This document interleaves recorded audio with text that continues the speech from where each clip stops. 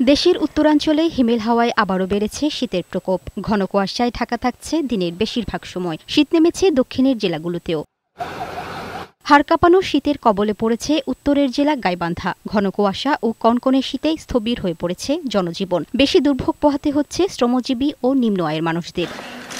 মাগুরায় শিশু ও বয়স্কদের মাঝে ঠান্ডাজনিত রোগের প্রকোপ বেড়েছে। গত এক সপ্তাহে জ্বরসহ ঠান্ডাজনিত নানা রোগে আক্রান্ত হয়ে সদর হাসপাতালে ভর্তি হয়েছে শতাধিক বৃদ্ধ ও শিশু।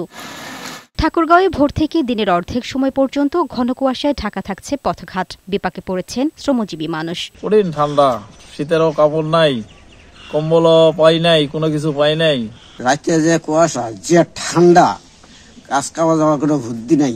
গরিব লোকের কঠিন কষ্ট, তারপরে দুর্ভোগ। লালমনিরহাটে ঘন কুয়াশা আর শীতে কাজে বের হতে পারছে না খেটে খাওয়া মানুষ। বেশি দুর্ভোগ নদী তীরবর্তী এলাকার মানুষের। এদিকে ঘন কুয়াশায় রাজবাড়ির দৌলতদিয়া ও মানিকগঞ্জের পাটুরিয়া নৌ রুটে ফেরি চলাচল ব্যাহত হচ্ছে। ঘন কুয়াশায় নৌ দুর্ঘটনা এড়াতে ফেরি চলাচল বন্ধ করে দেয় ঘাট কর্তৃপক্ষ। এছাড়া রাজশাহী, রংপুর, দিনাজপুর, পঞ্চগড়, কুড়িগ্রাম সহ উত্তরাঞ্চলের জেলাগুলোতে প্রতিদিনই তাপমাত্রা কমছে। ডেস্ক রিপোর্ট, বৈশাখী সংবাদ।